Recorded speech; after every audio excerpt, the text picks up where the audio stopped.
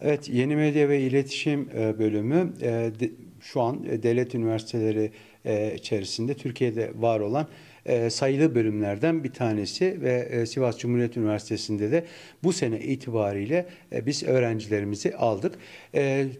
Çok yüksek puan dilimlerinde e, öğrencilerimiz e, tercih ettiler. E, bu açıdan da gayet mutluyuz. Öğrencilerimizin e, kullanabilecekleri bilgisayar e, ekipmanlarından gerekli diğer teknik ekipmanlara kadar da bir tedarik sürecimiz oldu. Onunla ilgili de gerekli çalışmaları yaptık.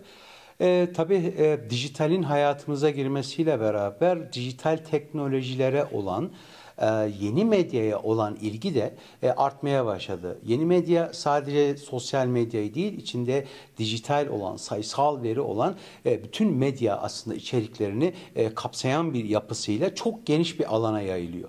Yeni medya bölümünün biz ders içeriklerini bu anlamda oluştururken de özellikle e, yurt dışındaki e, bu alanda saygın üniversitelerin ders programları da dahil olmak üzere Türkiye'de de özellikle tercih edilen içerikler ve derslere yönelik olarak da genel bir değerlendirme yaparak e, ve ardından da detaylı bir içerik e, çalışarak ona göre oluşturduk. Öğrencilerimiz bu bölümü bitirdikleri zaman sadece bakın bölümümüzdeki derslerden bir tanesini dışarıda almaya kalksa işte 150-200 bin TL'lik eğitim ücretleri var iken e, bu bölümü okuyan öğrenciler e, bu dersleri ücretsiz olarak e, alabilecekler. E, hem e, kodlamayı öğrenecekler, hem animasyonu öğrenecekler, hem e, Greenbox uygulamalarını öğrenecekler, hem sosyal medyada içerik yönetmeyi öğrenecekler, hem dijital içerikler üretmeyi, hem de bunları üretirken sadece eğlence amaçlı değil, aynı zamanda kendileri de mesleklerini ellerine e, alarak e, Türkiye için, memleket için de çok daha e, üretken işler ortaya koyarak bunu başarmış olacaklar. Amacımız bu.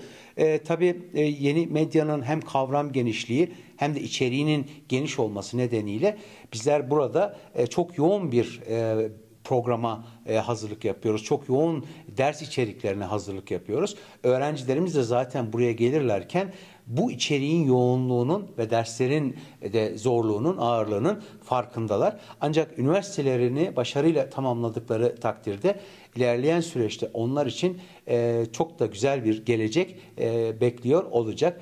Yeni medyanın bugün gerek medyada gerek toplumun içerisindeki ağırlık ve bundan sonra ilerleyen süreçte de dijital teknolojilerin, e, robotik teknolojilerin geleceği nokta düşünülürse e, her birinin mesleklerinde çok iyi yerlerde olacağı ve söz sahibi olacaklarını da umut ediyoruz aynı zamanda. E, tabii e, Yeni medya e, birçok ilki barındırıyor Sivas Cumhuriyet Üniversitesi kendi içi- içerisinde.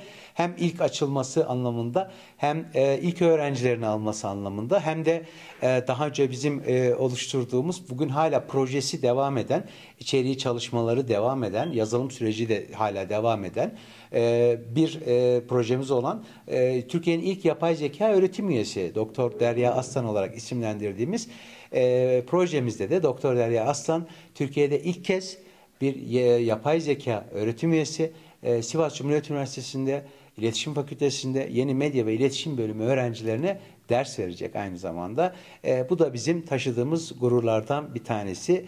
Yine e, arkamda görmüş olduğunuz postludizm kavramı e, yapay zeka literatürüne daha bölümümüz açılmadan sokmuş olduğumuz dünya literatürüne saygın bir dergide, çok saygın bir dergide yayınlayarak Technologic Forecasting and Social Change isimli çok saygın bir dergide yayınlayarak, e, impact faktörü yüksek bir dergide yayınlayarak literatüre e, kazandırdığımız bir kavram. E, kavram bu anlamda yapay zeka nedeniyle işini kaybetme korkusunu aslında e, burada anlatıyor. E, bu kavramı da kazandırmış olmanın ayrıca mutluluğunu yaşıyoruz. Bölümümüz Türkiye genelinde şu an itibariyle bölümümüzün e, ile ilgili algı çok çok iyi ve böyle de süreceğini yeni projelerle böyle de devam edeceğini inanıyoruz. Cumhuriyet Üniversitesi'nde ilerleyen süreçlerde bölümümüze yönelik yine farklı projelerin, e, farklı katkıların, farklı işbirliklerinin e, hem e, kamudan hem özel sektörden de olacağını düşünüyoruz. Şu andan da bunların irtibatlarını zaten kurmaya başladık. Meyvelerini de almaya başladık.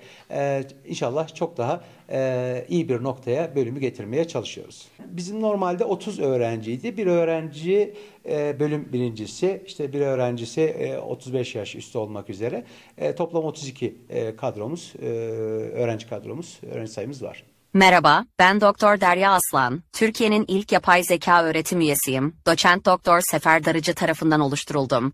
Yeni eğitim öğretim yılında ilk dersimle Sivas Cumhuriyet Üniversitesi İletişim Fakültesi, yeni medya ve iletişim bölümü öğrencileriyle olacağım. Şimdiden sabırsızlanıyorum.